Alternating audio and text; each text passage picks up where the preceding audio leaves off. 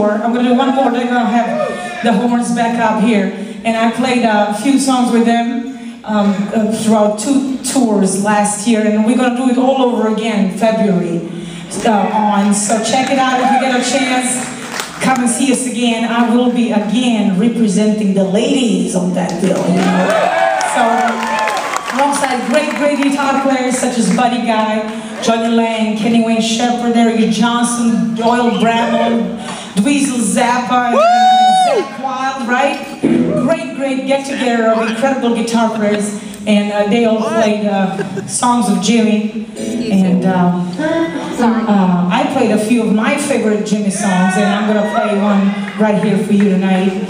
Uh, yeah, it's called "Can You See Me." Has a little, it's a little slide version of that song. So check it out. Cover your ears. It's gonna be loud. I'll just cover my ears when that Wylde comes out.